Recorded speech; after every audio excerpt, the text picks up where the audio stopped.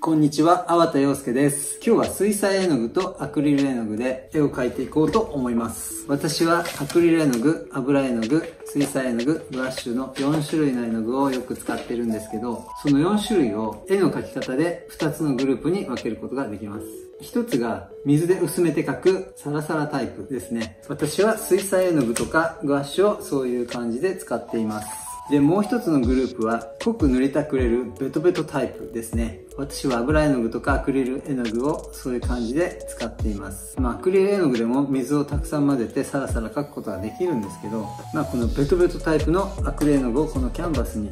で、サラサラタイプの水彩絵の具をこの紙に描いていこうと思います。そうするとこの2つの絵の具の特徴が分かりやすいんじゃないかなと思います。この間油絵の具で絵を描く動画でいつも描いてる絵の具とはタイプが違う絵の具ををたまに使うことによっていつもにないアイデアとか表現方法を見つけることができるというお話をしたんですがまさにこのベトベトタイプとサラサラタイプの絵の具を使うことによって両者使い勝手が違うものですから違う表現方法が見つけやすくなるということです。絵の具の使い方は人によってすごい違うと思うのでこれはまあ私の描き方はほんの一例に過ぎないんですけどまあちょっと描いていきます。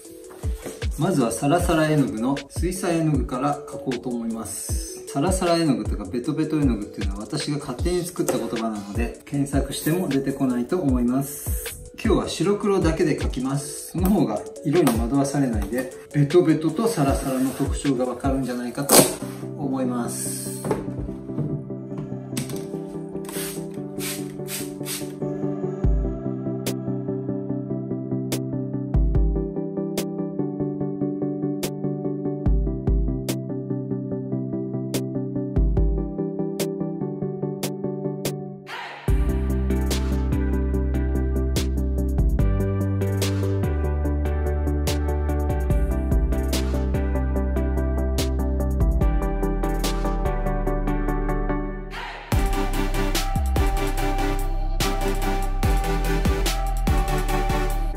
濡れた状態で描き始めたのでもうちょっと乾いてから描き足したいと思います。その間にアクリル絵の具で絵を描こうと思います。水彩絵の具で描いていった時はこの絵の具が水で滲んでいく状態がご覧いただけたと思います。このアクリル絵の具でも滲んだ状態で描くことができるんですが今回はせっかくなのでベトベトに描いていこうと思います。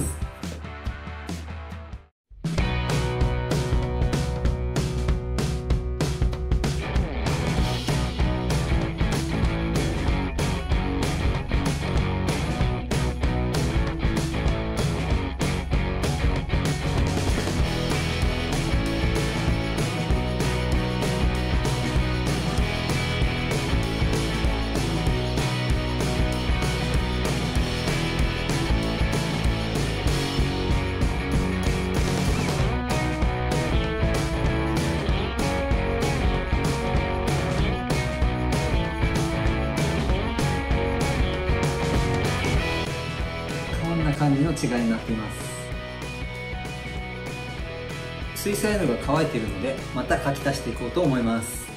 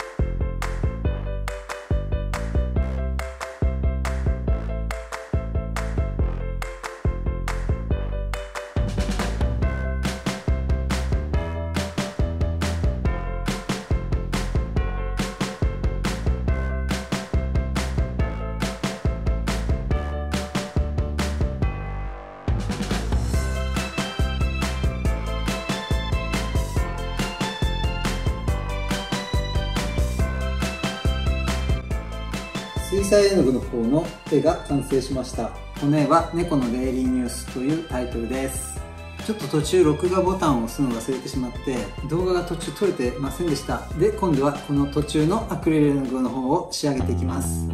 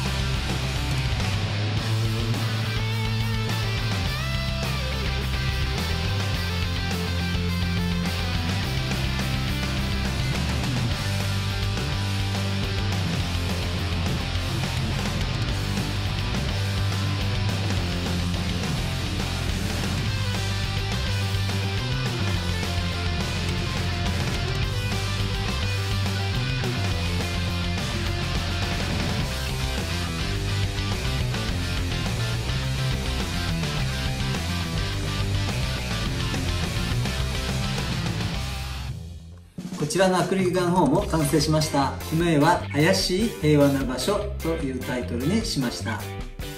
水で薄めてサラサラにした絵の具で描いた水彩絵の具の絵の方。そして濃く塗りたくったベトベトってほどでもなかったんですがベトベトの絵の具とサラサラの絵の具で描いた違いがこんな感じになります。まあ、私の描き方で私の作風で描いているので、まあ、もっといろんな描き方もできるんですけど今日はこんな感じになりました。